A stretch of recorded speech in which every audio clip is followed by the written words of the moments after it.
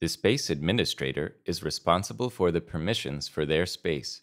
Click Space Tools at the bottom of the sidebar, and then Permissions.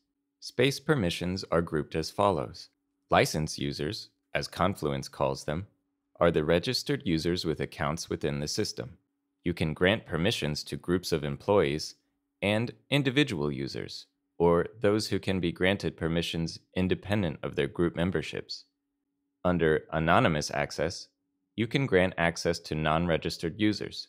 Anonymous users can be granted most permissions.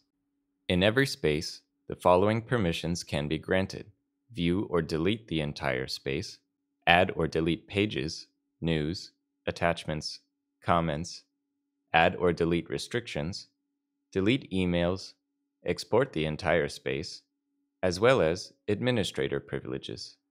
To add a new user or group to the permission list, click on Edit Permissions. Search for the group or user by typing their name, select the group or user, then click on Add.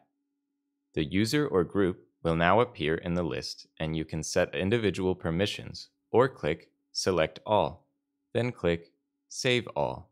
To delete a user from the list, click on Edit Permissions, then on Deselect All.